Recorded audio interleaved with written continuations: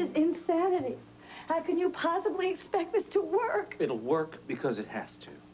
You say you want to live here because you're concerned about Lucas, but if we spend all of our time ignoring each other, don't you think he's going to pick up on When it just a Lucas is bit? around, we pretend. Oh, yeah, right. It shouldn't be too hard for you. You've apparently been pretending for a long time.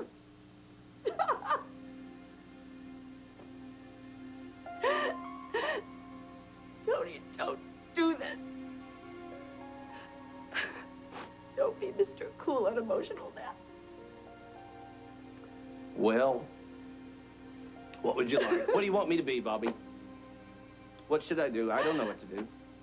I never wanted this to happen. Don't imply that I set out to destroy our marriage. Well, either you want it out of the marriage or you have so little control over your emotions and body that you let somebody else tell you what you wanted. Either way, you ended it. And then you expect sympathy from me.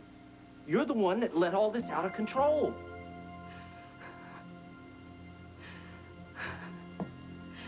How can I tell you so you'll understand? Losing BJ and having our marriage come to this. And worrying about Lucas's future is killing me. Do you understand? It's tearing me apart.